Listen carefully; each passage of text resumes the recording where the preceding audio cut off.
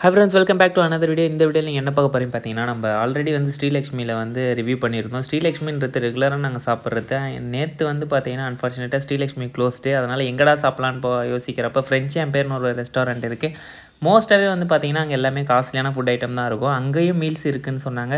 உண்மையிலேயே மீல்ஸ் இருக்கான்ட்டு போய் பார்த்தோம். ஆனால் மீல்ஸில் வந்து இந்த மாதிரி ஃபோர்க் யூஸ் பண்ணி சாதம் கொட்டினது எனக்கு இதுதான் ஃபஸ்ட்டு டைமு ஏதோ ஃபாரின் ரேஞ்சுக்கு செப்பரேட் செப்பரேட்டாக பவுலில் வந்து வெஜ் கறி நான்வெஜ் கறி அது மட்டும் இல்லாமல் எல்லா ஃபுட்டும் ஒரே மாதிரி தான் கொடுத்தாங்க. அந்த அளவுக்கு வந்து எங்களுக்கு டேஸ்ட் வந்து ஸ்ரீலக்ஷ்மியில் இருந்த டேஸ்ட் வந்து எனக்கு சுத்தமாக இல்லை.